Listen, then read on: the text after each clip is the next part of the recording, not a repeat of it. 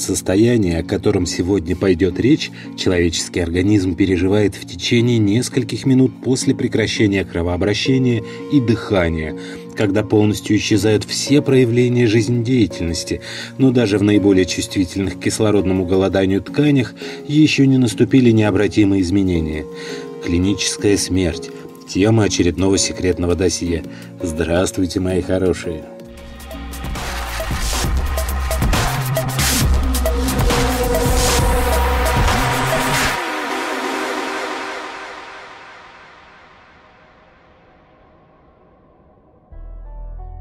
Клиническая смерть является обратимым состоянием, и сам по себе факт прекращения дыхания или кровообращения не является доказательством наступления смерти.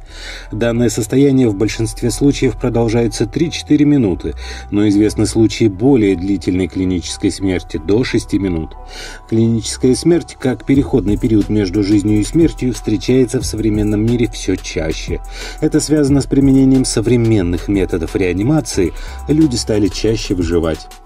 Особо яростные споры возникают вокруг так называемого посмертного опыта, который переживают некоторые люди в момент клинической смерти.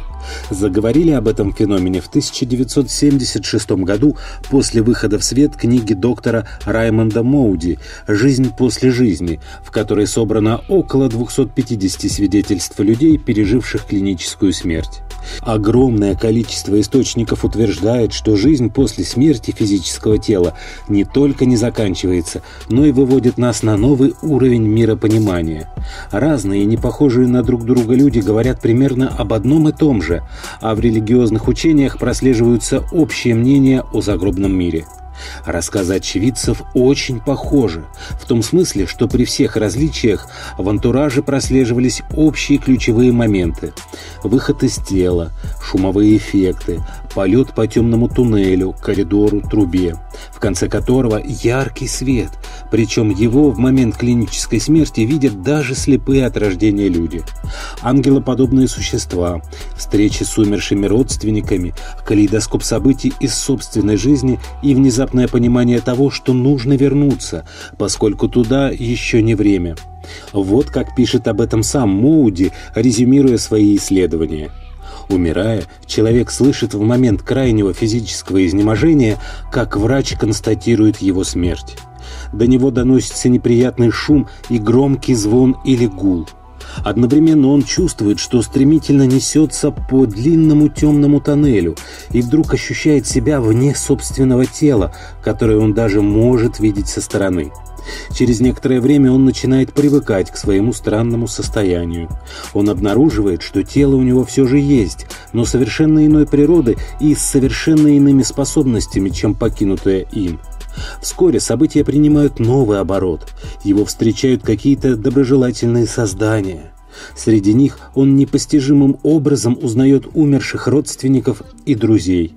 Затем перед ним возникает существо из цвета, добрый, любящий дух, которого он никогда раньше не видел. Это существо без помощи слов просит человека оценить свою жизнь, моментально воспроизводя перед ним главные ее события. Неожиданно человек замечает, что приближается к чему-то вроде стены или линии и осознает, что это граница между земной и загробной жизнью. Однако перейти эту границу ему не удается. Он чувствует, что должен вернуться назад, что время его смерти еще не пришло. Давайте познакомимся с несколькими рассказами людей, перенесших клиническую смерть и запомнивших фантастические события, произошедшие с ними в этом состоянии.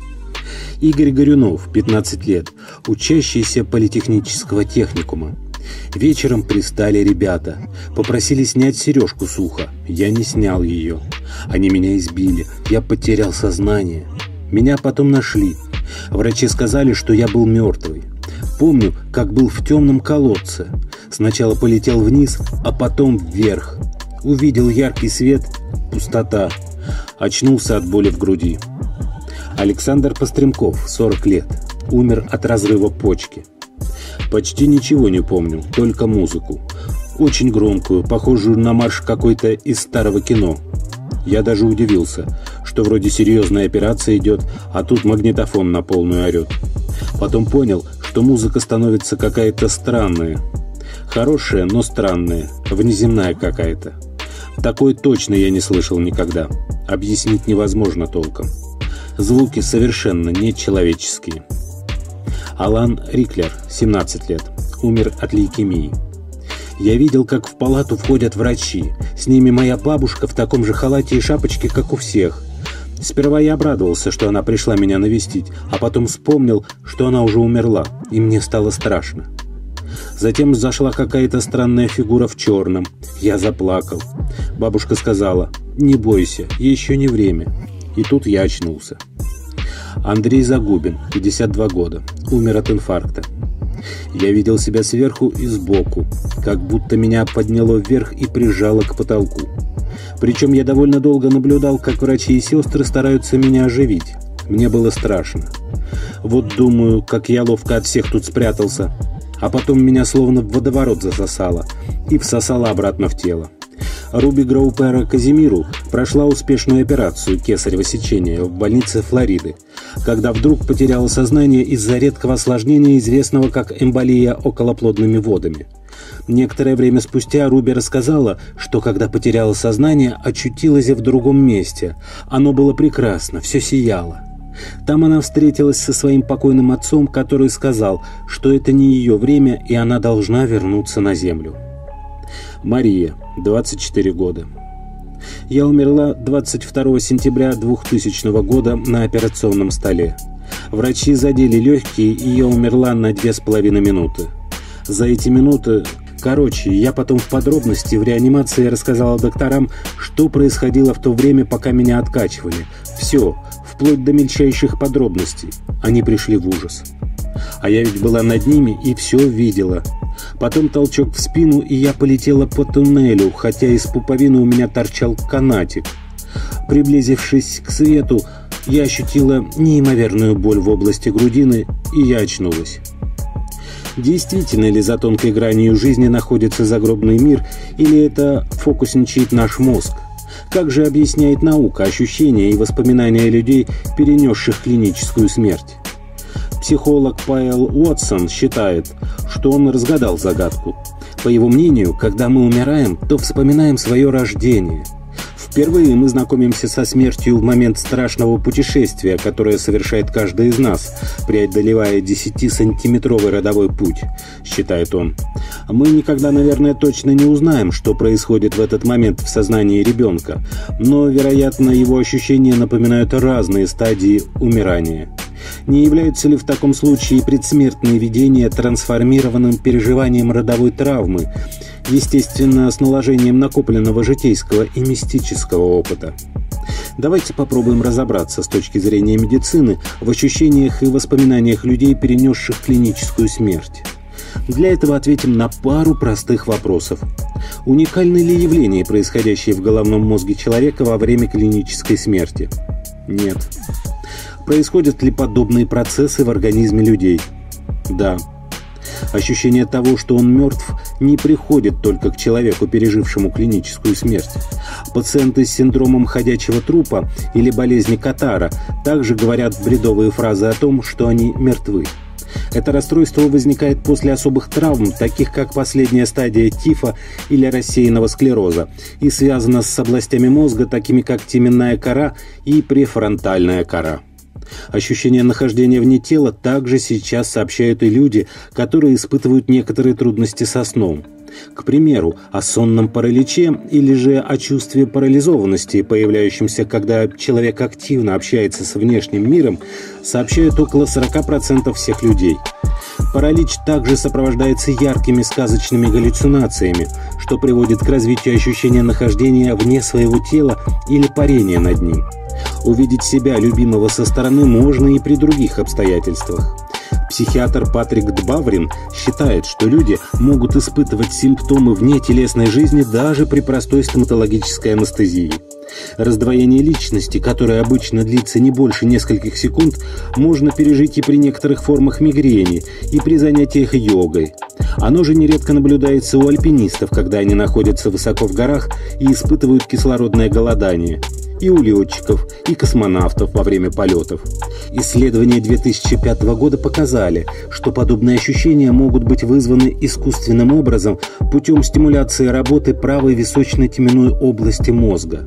Что касается видений и встреч с умершими родственниками и знакомыми, пациенты с болезнью Паркинсона, к примеру, говорят о том, что видят призраков и даже монстров. Как это объяснить?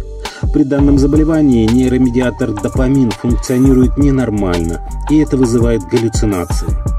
А как объяснить переживания воспоминания жизни, проносящиеся перед человеком?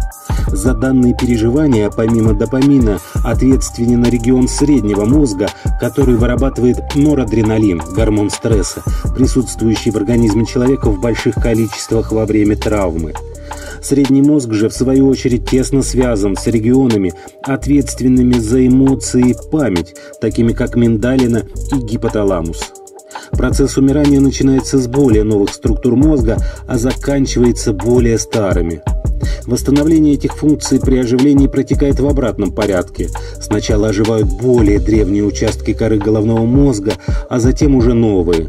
Поэтому в процессе возвращения к жизни человека в его памяти в первую очередь всплывают наиболее стойко запечатлевшиеся картинки. Кроме того, ряд лекарственных препаратов могут вызвать эйфорию, которая часто ощущается пациентами, переживающими клиническую смерть. К ним относится и анестетик кетамин, который также может вызвать галлюцинации и ощущение нахождения вне своего тела. Наконец, один из самых известных аспектов клинической смерти – это движение по тоннелю, в конце которого виден свет – Туннельное зрение появляется тогда, когда поток крови и кислорода глазам замедляется, так же, как это происходит у умирающего человека. Российский врач-реаниматолог Николай Губин объясняет появление туннеля проявлением токсического психоза. Это в чем-то схоже со сном, а в чем-то с галлюцинацией. Например, когда человек вдруг начинает видеть себя со стороны. Дело в том, что в момент умирания части зрительной доли коры больших полушарий мозга уже страдают от кислородного голодания, а полюса обеих затылочных долей, имеющие двойное кровоснабжение, продолжают еще функционировать. В результате поле зрения резко сужается и остается лишь узкая полоса, обеспечивающая центральное трудное зрение заведующий отделением реанимации Московской больницы номер 29 Багдасаров, уже 30 лет возвращающий людей с того света, утверждает, за все время его практики ни один из его пациентов во время клинической смерти не видел ни тоннеля, ни света. Психиатр Королевского Эдинбургского госпиталя Крис Фримен считает, что нет доказательств того, что описанные больными видения возникали, когда мозг не работал – Картинки иного мира люди видели при жизни, перед остановкой сердца или сразу после того, как сердечный ритм удалось восстановить. Исследование, проведенное Национальным институтом неврологии, в котором принимали участие 9 крупных клиник, показало, из более 500 возвращенцев всего лишь 1% могли ясно припомнить, что они видели – по мнению ученых, 30-40% больных, живописующих свои путешествия по загробному миру, это люди с неустойчивой психикой. Но все же среди врачей существуют и альтернативные взгляды по вопросу переживания и видения, испытываемых во время клинической смерти. Один из ведущих врачей Саутгемптонского госпиталя Сэм Парния говорит так – не оставляет сомнений факт, что у некоторых людей в то время, когда мозг уже перестал функционировать, продолжается ясный мыслительный процесс и способность к размышлению и воспоминанию. По мнению доктора Парнии и его коллег, сознание или душа продолжает думать и размышлять, даже если сердце пациента остановилось, он не дышит и мозг перестал работать. Как видите, у специалистов нет единого мнения по вопросу о том, что на самом деле происходит с человеком в момент клинической смерти. Но уверен, в ближайшие годы с развитием технологий и, соответственно, более ясного понимания процессов, происходящих в окружающем мире, завеса тайны над темой клинической смерти немного приподнимется. А на этом на сегодня все. Человеческий организм все еще полон тайн и загадок. Не болейте, ставьте пальчики вверх, подписывайтесь на канал «Доктор по соседству» и, конечно, не забывайте заходить в наши паблики в социальных сетях ВКонтакте и Одноклассники, где каждый день мы делимся с вами самыми полезными новостями из мира здоровья и медицины. Здоровья вам!